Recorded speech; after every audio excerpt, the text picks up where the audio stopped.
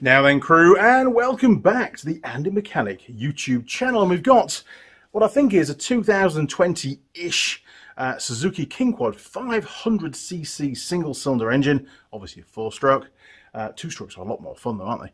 Uh, and in this video, as part of a series of videos covering the servicing requirements of this particular vehicle, uh, we're going to be uh, replacing the air filter. Now, it may be that when we take the old one out, it might just require a clean, but it also might need to be replaced. We don't know yet. I do have a spare new air filter ready in stock, just in case we need it. Uh, this is not a genuine one, by the way. That is the part number there, look. If you can see that. There you go. Just in case. And this is a no toil air filter probably available online, you know, and of course they do all the various cleaners and stuff. I won't be using that particular cleaner. I've got some other stuff that I normally use. Okay, well, let's get right to it and find out what the service manual says to do this job. Here we go. Used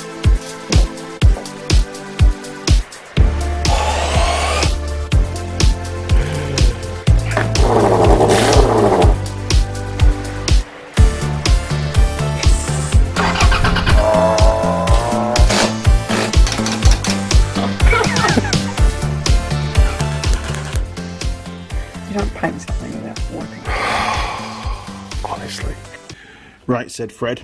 Okay, in the service manual, it states air filter element inspection and cleaning every thousand kilometres or 600 miles or three months, whichever is the soonest.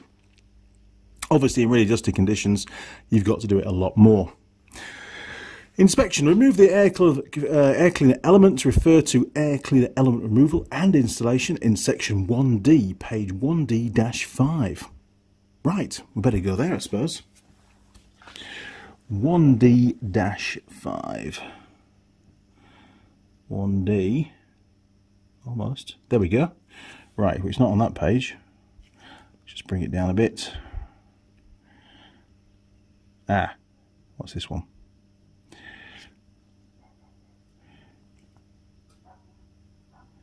Air cleaner box removal installation. Da, da, da, da, da. No, I don't want to take the whole air box out. Throttle body.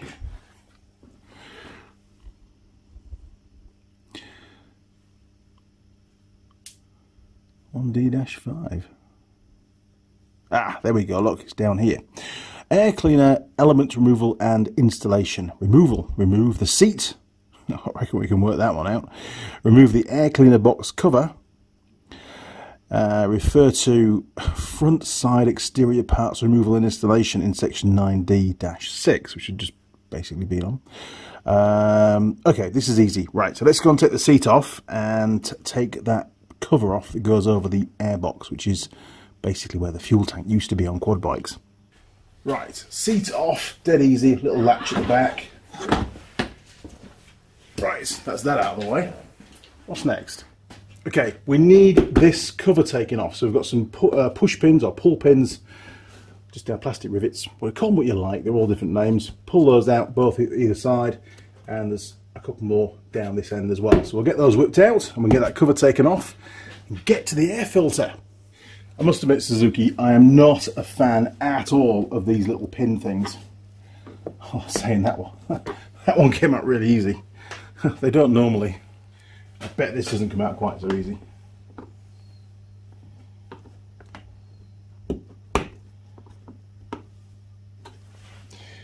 I bet it doesn't.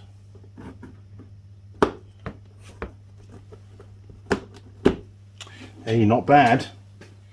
Is it going to come out easily or is it going to be an absolute pain? It came out really easy. like the ones in the fenders. Last one, like the close-up action. We do our very best, don't we? It's not easy working around the camera though. And you are only perched on a bit of angle iron that's not even connected to the bike, it's just sat there at the bottom. Right, next tool required. There we go. Right, is that enough? Yes, perfect. Now, if all goes to plan, this cover should now be able to be pulled off. he says. Yes, there we go. Look, some additional little sort of slidey clips at the back. Okay, one air filter. Let's get that cover taken off.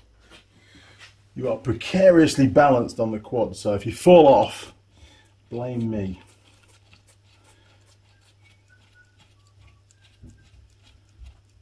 Good old wing nuts. You can't go wrong with wing, wing nuts, can you? Okay. Never taken one of these off before, so we'll find out. Ah, right. Yes. Not the cleanest thing in the world, is it? Okay, to the bench. Right, air filter is out and it definitely needs a bloody good clean, that's for sure. It has got oil on it, you can see this blue residue there, that's the oil that you put on the actual filter element after you've cleaned it, and we'll be doing that, and that oil is there to trap the small particles of dust and dirt that are trying to get into your engine all the time, when the engine's running obviously. Um, so, we'll pull that off. I think the first thing to do is give it a clean, and then in actual fact, it's got a paper element on the inside as well. That's pretty good. So we've got a, a foam element on the outside that can be cleaned, and that's also got a, a you know secondary sort of filtering is a, a paper filter. Pretty cool, actually. Pretty extensive. That's good. Okay, so how the hell do we get this off? Right, there we go. Look. So the element itself, the actual foam element, just comes off the actual filter like that, like a little sock. And underneath exposes the paper filament. Now, one thing I have noticed is this filter fits from the top down. You saw when I pulled it out. And the foam at the base is a sealing ring that will seal against the actual airbox itself. Now, it's normal practice, if you watch some of my other videos, it's normal practice to put grease on that sealing surface to prevent any air bypassing around the side of the filter element and going into the engine and sort of snicking between this and the plastic uh, casing. Now, it is a bit sticky. I think somebody has put some kind of spray grease on that, and that's probably good enough. Uh, we're going to use normal grease when we come to, you know, put it back in the bike again. But we can give the, I don't know, maybe we can probably give the uh, the paper element a bit of a blowout. It doesn't look too bad actually. It's pretty clean. It's all right, is that, isn't it? Yeah. But this needs a really good wash. Now, this filter element looks different to what's in the bag that was sent. Odd. Okay, we should have a look at that. Yes. So, upon further inspection, we know that this bike is only done 1800 kilometers. It's not very old. I did supply the dealer the VIN number of the bike. Anyway, not to worry. It does list a KingQuad 500 on the actual sticker there, look on the label. But it says from 2009 to 2015. That's a long time before this bike even was designed, before it even went on the market. So this filter, this element, which has got an end piece to it as well, unlike the one that came out, which is just a tube, this filter is incorrect, which means we're going to have to give this one a clean and hopefully it won't fall apart. If it does, I've got a problem. Right. Oh, it's important that you don't use petrol to clean these filter elements because it can cause the glue, the bonding, and that would be that bit there, look, where the seam is, it can cause that to fail. It can also cause sometimes the actual foam itself to dissolve and disappear in front of your eyes. We don't want that. Me go and find out what I've got to give this thing a clean, other than petrol.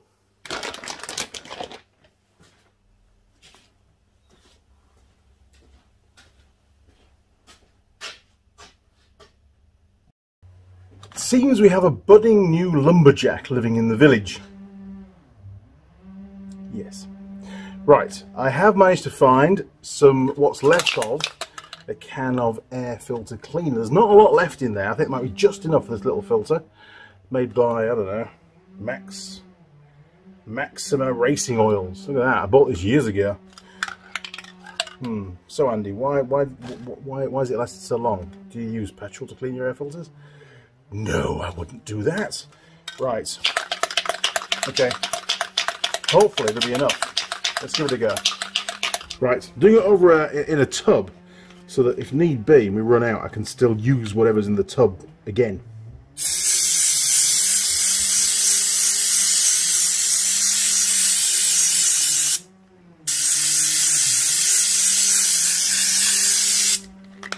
Ooh, it's about half of what we've got. Right, let's work that in. It's going to work. Honestly, fancy practicing to be a lumberjack on a Saturday.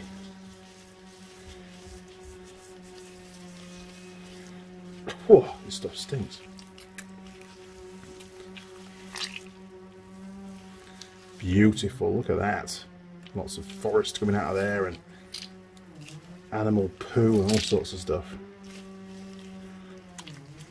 Great job. It does seem to be working though, doesn't it? Oh, using a well ventilated area. Jeez. Makes you wonder where all the dirt goes, doesn't it? I mean, there's still bits of tree and stuff in there.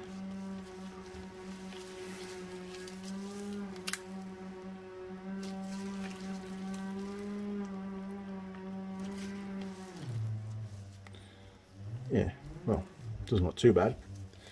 We're a long way from being finished there. Right, well the next job, once this bit's done, is to run it under some normal warm water just to wash out all the cleaner. So I always often go and do that in the house. Hopefully Mrs. Mechanic won't spot me. And then we'll come back and we'll just see how good it is. Jeez, I've got no fingers to turn the camera off. Bugger. Right, I am back wasn't too bad. It looks pretty clean actually. It's still got some of the cleaning agent in it. It wasn't really very water soluble to be honest. Had to really squeeze it out and then the water just acts as a carrier to run it off down the sink. Also, I don't know how, how environmentally friendly it is. It says on here, toxic. See the little skull and crossbones symbol there, look. Not too sure that really wants to be going down the drain to be honest. Um, so it's still wet, it's still got some residue in it, so we'll grab some blue roll and we'll try and squeeze out the vast majority of it. And then it says to put it out in the sunshine to dry. It's not sunny today. It's actually quite cold, overcast, and it keeps raining. So that's not going to work. I do have a heater that I can stick it on and dry it out that way. It needs to be dry before we put the oil, the, the fresh oil, the air filter oil, onto the actual filter element. Don't do it while it's still wet. That's bad.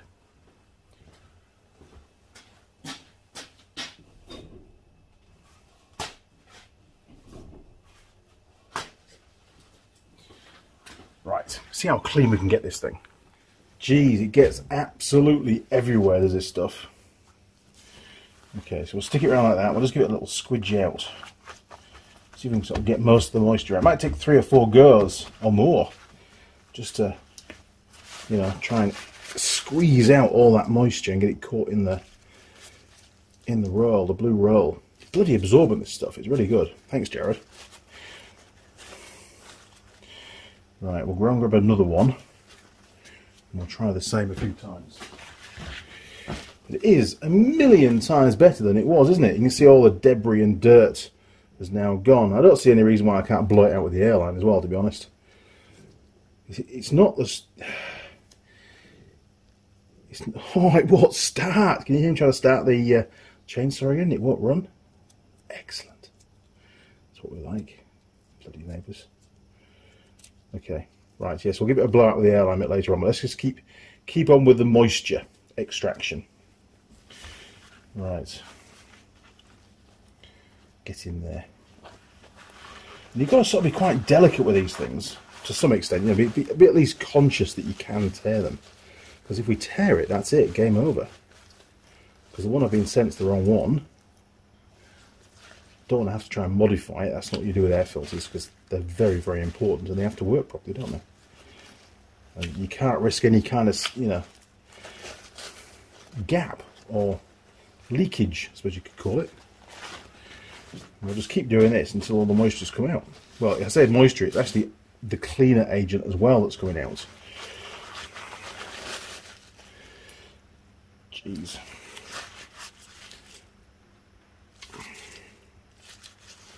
I think they've done a pretty good job there.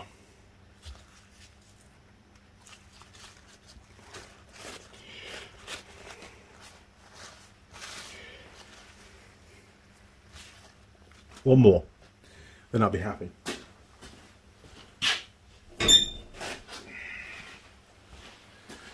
Sorry, Jared, I'm munching through the old uh, blue roll today.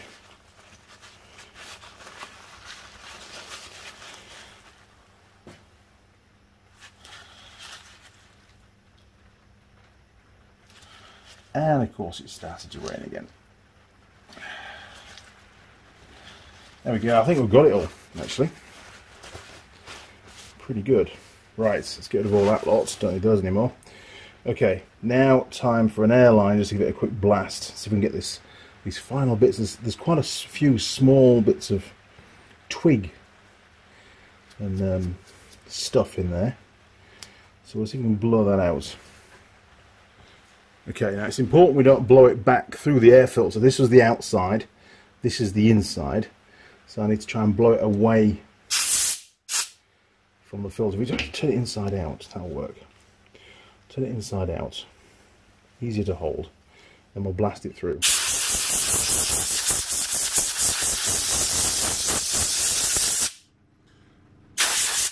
We're getting there. I think so.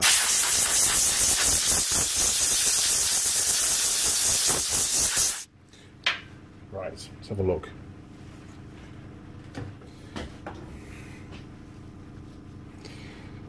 Better. Not perfect. Still think petrol works better, to be honest. Seems to get all this little bit, all these little bits out. But that's just going to have to be good enough. I don't think blasting it from the outside is going to help. It seems to be like lots of little tiny bits of thorn that's actually stuck in the air filter element itself. I'm not too concerned actually because it's only the pre-filter. There's still the paper filter. So we'll give that a quick blast with the airline as well. Now the airline's out. And then we'll get some oil put on that foam. Let's see if we get much dust out of here.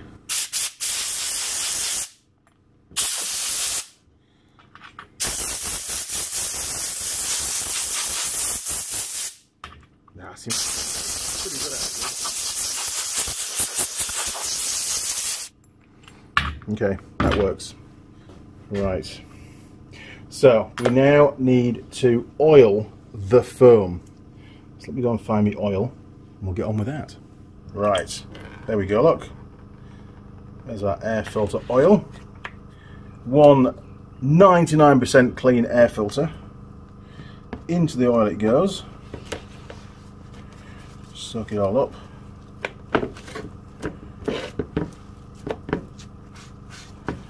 Right, and squeeze it through.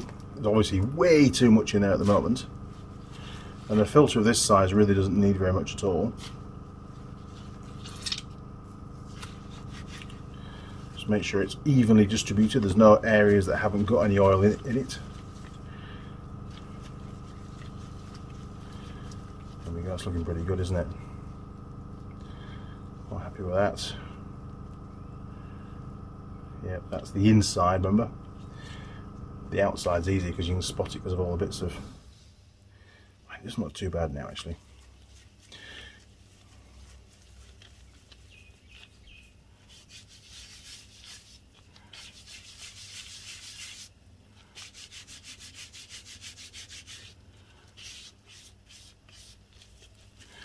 I think we're about there, you know.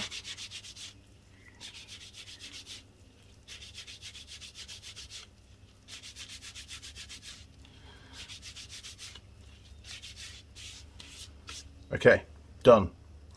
Let's get rid of this.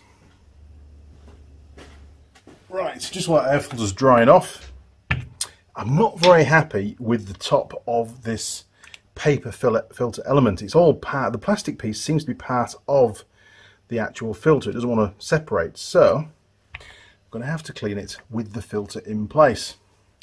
So I've got some of the Forch brake cleaner. Pretty good stuff actually. I do like this, the R510 works very well actually. Proof in the pudding. Here you go. Hopefully it's not going to go on the lens. Right, let's give it a quick wipe round. And it hasn't gone on the paper filter element, which is good. That was the plan. because there's a bit of an overlap. Bit of a lip. I just can't bring myself to fit something in this kind of condition back on the bike. I know it makes no difference whatsoever to its function, but it looks horrendous.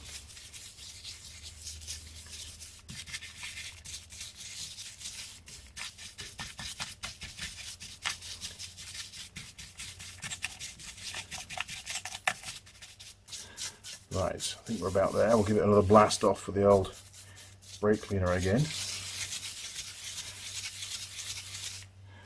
Okay, here goes. Don't get it in your eyes. It stings. I know.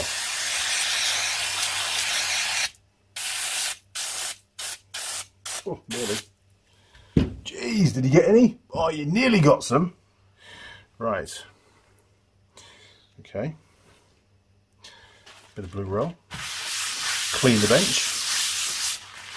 Excellent. I like clean benches. Okay, airline. All right, mind your eyes and ears.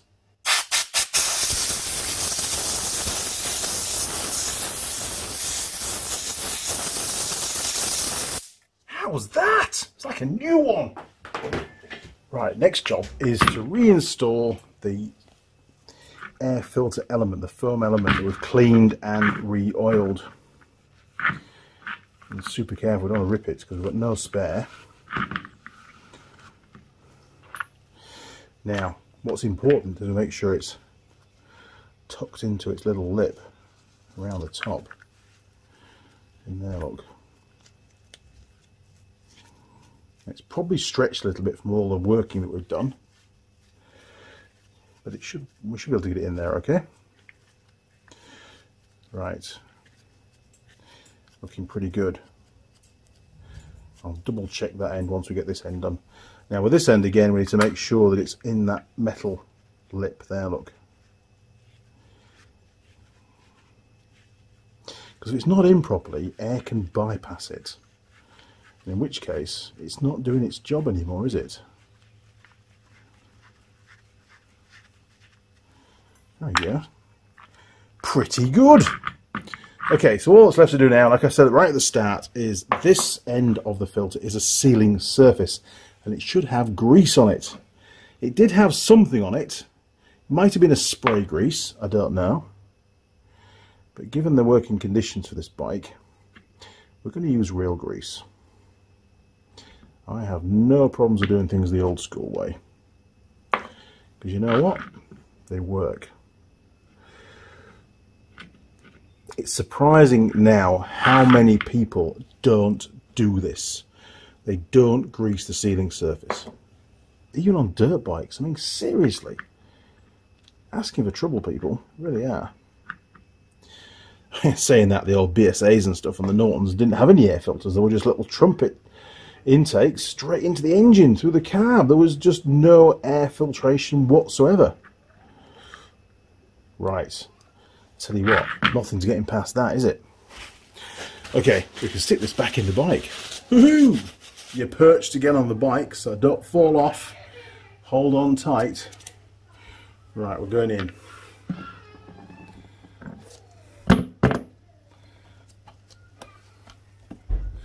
Go across thread it, Mr. Young. There we go. Phew! Looks a lot better now it's been clean. Makes the rest of the bike look terrible, doesn't it? and just make sure it's seated properly on that top lip.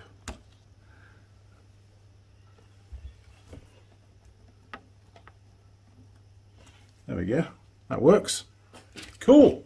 Well, there we go. Another stage of the service on this Suzuki KingQuad 500 AXI. About a 2020 model. We're a bit the models are a bit weird here in New Zealand because we often get old stock from around the world. So you guys might, go say, and it's a, it's a 2019, what are you playing at? I don't know. Tell me, that's what the comments are for. Anyway, air filter is done. We've also already done the engine oil change. That's a video that went out first. Then we did the front diff oil change. Then we did the spark plugs, two of them, single cylinder, I know. Uh, and now we've just done the air filter clean and refit. Next on the list, not sure. You'll have to find out and wait and see. It'll be a surprise. If you enjoyed the video, why not click on the subscribe button? Uh, ring the bell, that way you won't miss any new videos about to hit the channel. Uh, if there's a bit of a gap and I'm busy and I don't upload any new videos, then there's about 550 videos already on the channel for you to go and have a look at. Just dig through the archives. You'll find a much younger Andy Mechanic on there. Well, I'll look a lot younger. It's only about five years ago, but it's amazing, you know, what hard work does to you. uh, you'll also find me on um, Facebook, Instagram, and Twitter. Feel free to communicate through any of those portals. Uh, you can also email me directly, and it is me that answers the emails. And my email address is down the bottom in the description. Now, if you want to support the channel, and if you do, I'll be very, very grateful. You know, these videos do cost money to make. And uh, there's quite a few viewers out there that do donate on a regular basis through Patreon. So you can go onto there, have a little look around. There's some behind the scenes stuff, lots of photos to download of the tool girls and stuff as well. And there's going to be some more stuff going up soon. Or you can send a direct one-off payment through PayPal. And again, same email address, andymechanic at live.co.uk. Okay, crew, well, I better crack on. Lots more to do. See you next time. Cheers. Over and out.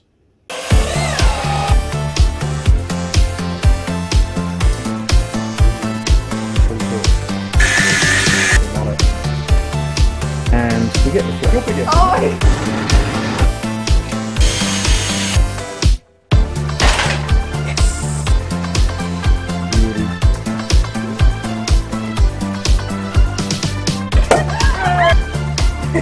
Beauty.